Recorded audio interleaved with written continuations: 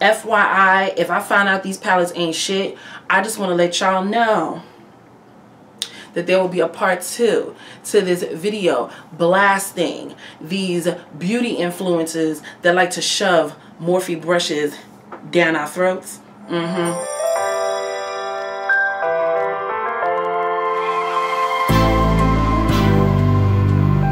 What up, love bugs? It's your girl Pam. Thanks for stopping by here at Beauty Corner.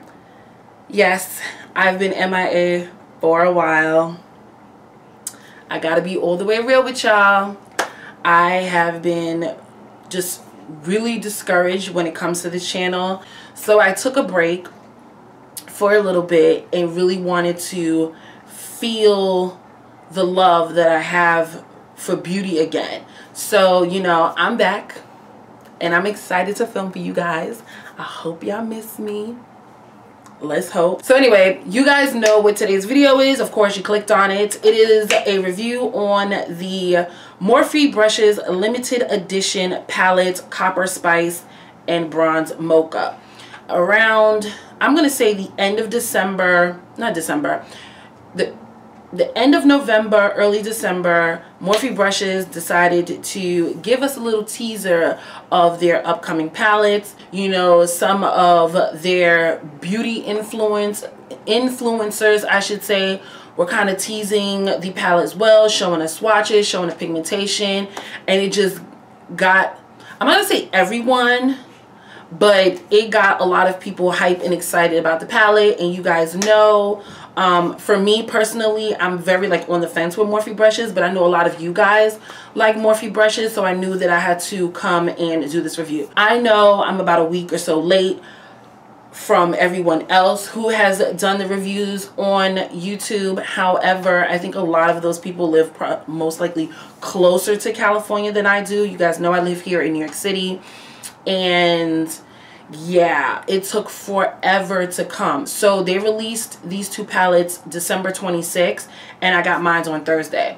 Pretty much almost not almost but it's about what three three weeks? Three weeks for it to come to me. You know when you first purchase it they tell you oh it's going to be about seven to ten business days before they ship it out. And then once they told me they shipped it out it took another week and a half to get to me which i find to be very hard very like I don't understand because usually priority mail takes about two to three days. And if there's some sort of delay, then it's another extra day, not a week and a half. But anyway, but I digress. Let's get into the review. So here are the two palettes that they recently released for limited edition.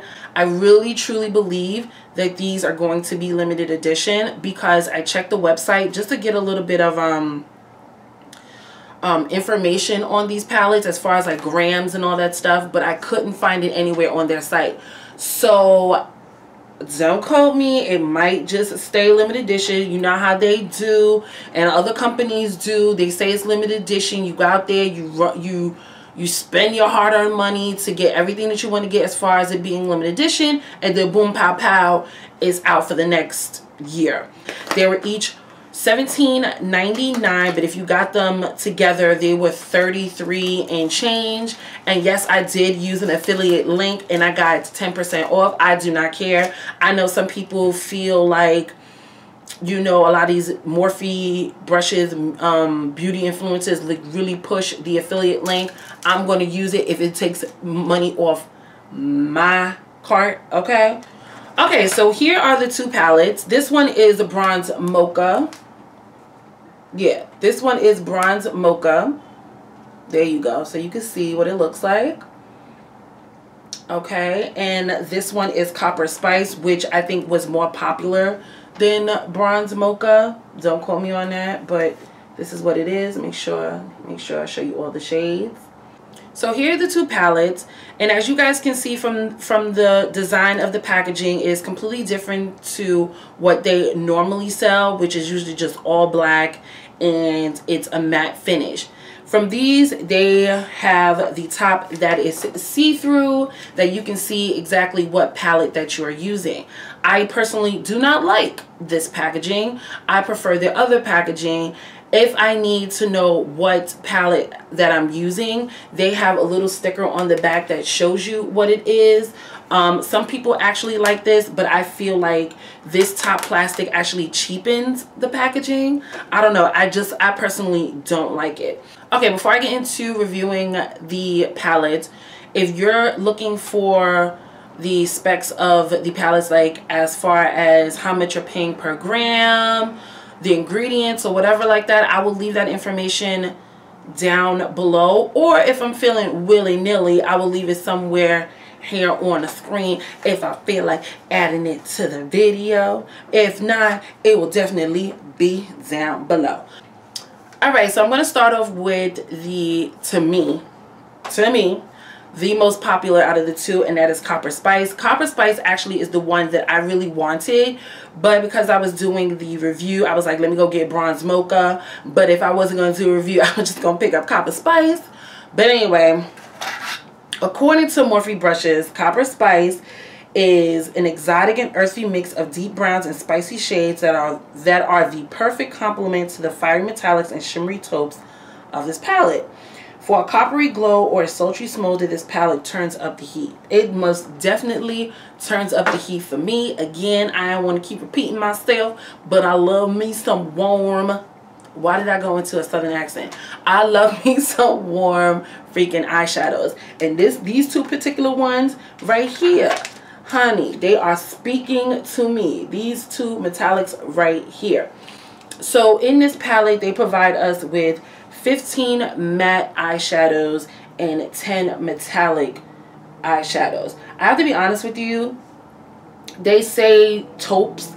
I do see some taupes in this um, palette. However, they're warm taupes. I didn't think that was even possible to have warm taupes because when you think of taupes, you think of brown and then you think of gray. But I guess it is possible. Anything's possible. Color is possible. The, this is the um, palette. I'm going to swatch them really quickly on my fingers, but at the end of the video, I'm going to show um, all the swatches to every shadow in both palettes, and I'm going to be using a brush. That will definitely determine if these palettes are worth it or not. FYI, if I find out these palettes ain't shit, I just want to let y'all know that there will be a part two to this video blasting these beauty influences that like to shove Morphe brushes down our throats. Mm-hmm. Mm-hmm. So let me just do swatches. I'm really curious to see how these two metallic swatch. So let me go in and I'm doing a nice rub. That's nice. Look a little pigmented. Look a little pigmented. But sometimes that, that don't mean shit until it hits the brush and let me sorry if i'm cursing if you find me find it offensive of me cursing i'm grown-ass woman deal with it and let me go into this really pretty like coppery. Whoa. These are really pigmented. Oh. Let me swatch it on the hand oh. It's buttery. Those are nice. And these are just hand swatches but they're nice. Ooh. Okay. Okay. Okay. Okay, beauty influences. All right, all right. You may not be lying. You may not be lying. This may be some sort of like new formula that they have because, yeah, mmm, yeah. You know what I'm talking about. Okay, so let's go into some of these matte shades. Actually, before I do that, let me get a wet wipe. All right, so let's go into some of these other colors. And I'm going to test, definitely test out the lighter colors because I feel like that's where their hits i mean that's where their misses are when it comes to the lighter shadows versus the darker shadows. So let me go on this one because this one really catches my eye. This is like a really pretty mustard green and mustard green. Why did i say mustard yellow? Um i'm a huge fan of mustard yellow and no makeup company really does that color. So let's go with this color. See how pigment this is. So that's that color. Can you see it? Can you see it? Let me block my face so you can see it better and then let's go with this color right here. Yeah, they look pretty pigmented. So let me swatch these on the back of my hand. They're okay. They're definitely not as pigmented as the metallics, but um, I was kind of expecting that with Morphe brushes. So let's go with, uh, let's go with this color over here. And then I'm going to swatch another metallic. How about the one next to it? It's really pretty. Well, actually, is that even... Wait a minute. That might not even be a metallic. One, two, three. So the one next to it, I don't believe, this one right here, I don't believe that's a metallic. I believe that's some sort of, hmm, matte with shimmer in it. It's definitely not metallic. So here are the two shades. So those are the two other shades right there. Okay, so now we have Bronze Copper, which is this one here. This one definitely has more of cool tones. I see a lot of purples. I definitely see a lot of taupes in this one. And according to Morphe, Bronze Mocha. Have shades of Mellow Cabernet, Warm Brandy, and Mochas. This palette is inviting as a steamy spiced latte on a crisp, cool day. The mix of warm and cool mattes with neutral shimmers ensures easy everyday looks that never get boring. I see very little warms, which is to be expected. The only two warm shades that I, or three warm shades that I really do see is this one up here, this gold right here and the one above it. The rest of them are very cool um, colors. I see a lot of burgundies. I see, um, um, they're not necessarily neutral. Um, one of them does have like a pinky undertone, which is this one, or a red undertone. And this one is definitely more of a taupey color. So I'm going to swatch these. And I'm going to swatch this one down here because this one looks really, really pretty. And I think this is one of the shimmers. And this one really brings, this one right here really speaks to me. And these are definitely pigmented. So those are those two colors right there. Sorry for the noise. This is New York City. It's never quiet at all. Okay, so here are the two shades. Okay, they swatch really nice from hand to hand. Um, let's go into some of the lighter colors. Like I said, Morphe brushes is really, mm -mm, they not all that when it comes to your lighter colors. Definitely going to try this one right here. It's like a buff color. Like a buff color with like a little bit of pink. Let me make sure my hands are completely clean. So I'm going to go in with that one. Give a little swash wash. So that's that color right there cover my face so you guys can see it. And then I'm going to go with the one here in the corner. It's kind of like a pinky bricky color. It's really pretty. And that's that one right there. I'm going to go in with another one. The one that's underneath this one. So this one right here. Because this one's a really, oh, this one's really nice. This one's really pigmented. It's that color right there. So here are the colors. Okay, so the next thing I'm going to do is I'm going to demonstrate some of these eyeshadows onto my eye. I think it's really important to show that to you guys simply because the last Morphe brushes review I did, um, the 35O eyeshadows did not transfer very well. I thought they were very powdery and they weren't very pigmented when it came to a brush. So I'm going to demonstrate the eyeshadows in the Copper Spice palette because that one speaks to my soul. It's warm. It's like, Pamela, we need you. You need to put us on your eyes. So I'm going to be using Copper Spice. I'm a hot mess, I know. Going into the Copper Spice palette, I'm all over the place. Please bear with me. I have not done a video in a really long time. But I'm going to go with, that just dropped. I'm going to go in with this color because it speaks to me. reminds me of Brown Script from MAC. And this is powdery, so you definitely want to tap the excess off. Place this into my crease.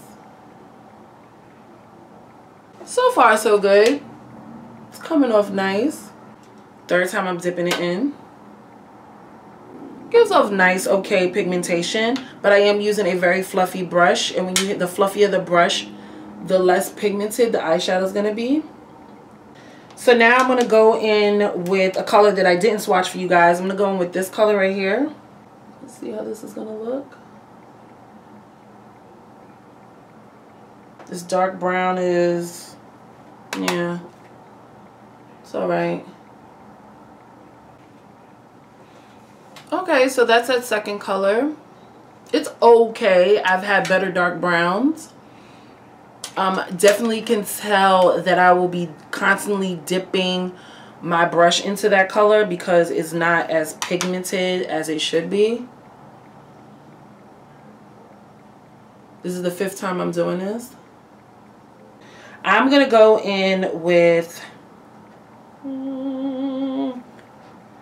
Let's go in with this pretty color. I just, I, I can't resist color. It's so freaking gorgeous. This one right here.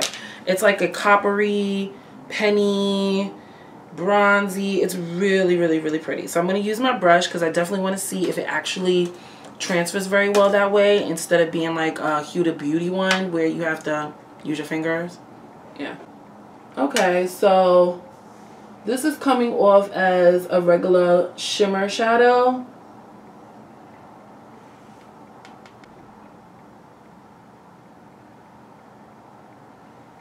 Alright, so here is the finished look of me using the Copper Spice palette. Um, it's nothing crazy because this is not a makeup tutorial. I just wanted to see how well these eyeshadows performed with brushes. I will be doing a separate video makeup tutorial using the bronze mocha palette since I didn't use any of those eyeshadows in this eye look but I have some I have somewhat of an idea of how those eyeshadows are going to perform just from this palette alone so let's jump into my final thoughts on these two products Okay, so let's start off with the packaging of the two palettes. I absolutely do not like the packaging. I think it actually cheapens it. I would prefer them to stick with the all black matte packaging that they have for their 35 shadows versus their 25 shadows here. From me alone just doing this eye look because the swatches were completely different, I can tell you that the matte shadows are powdery. They um, do have pigmentation. They actually have better pigmentation than the 35O palette, I must say. Okay, but they are definitely powder where once you dip your brush in, you definitely would have to tap the excess off because if not, and you did your foundation routine, you will have all the excess all underneath your eyes. I'm to tell you that right now. And that also goes for the shimmer shadows and metallic shadows. Now moving on to the metallic shadows. These are definitely not metallic shadows. I don't know why they constantly um, describe these as metallic shadows. I think they're just simple shimmer shadows. If you're looking for that metallic look, foiled look, you will definitely need some solution. Are these unique palettes? Absolutely not. We've all seen these shadows before. Um, again, these are okay as far as pigmentation goes. I believe these are very beginner friendly. So if you are beginner makeup, if you're your teenager or you're in your early 20s and you don't want to spend a lot of money or you can't spend a lot of money on eyeshadow palettes, I think these are very good for beginners okay definitely make sure you have something like a paint pot to if you have some sort of like color to your eyes if you are a person of color and you want to see the true pigmentation of the shadows I definitely recommend something like a paint pot Okay guys, so that pretty much sums up this video. If you know what I like, love, and adore, show a girl some love. Listen, if this video was all over the place, I do apologize. I need to get back into doing these videos. Mm-hmm, mm-hmm, mm-hmm. But again, show a girl some love. Do not cut this video off right now because at the end of the video, I'm going to show you swatches of all the shadows in both palettes. I will see you guys in the next video.